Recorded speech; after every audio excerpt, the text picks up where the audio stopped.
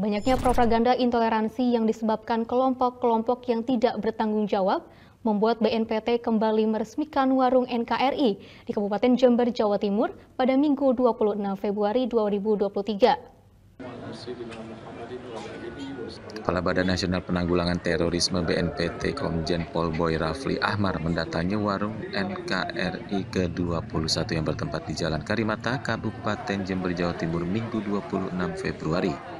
Warung NKRI ini merupakan wadah untuk berdiskusi dalam rangka merawat nilai-nilai kebangsaan dan empat pilar kebangsaan, termasuk mencegah tumbuhnya terorisme dan intoleransi.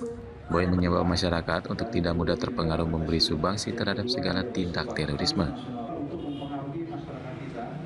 Jangan sampai terpengaruh atau bahkan juga yang contoh lainnya adalah memberikan sumbangan terhadap upaya-upaya gerakan yang mengarah intoleransi radikal terorisme, sumbangan itu katanya ternyata diberikan kepada kelompok-kelompok yang intoleran, kelompok-kelompok yang memperjuangkan nilai-nilai berbasis kekerasan.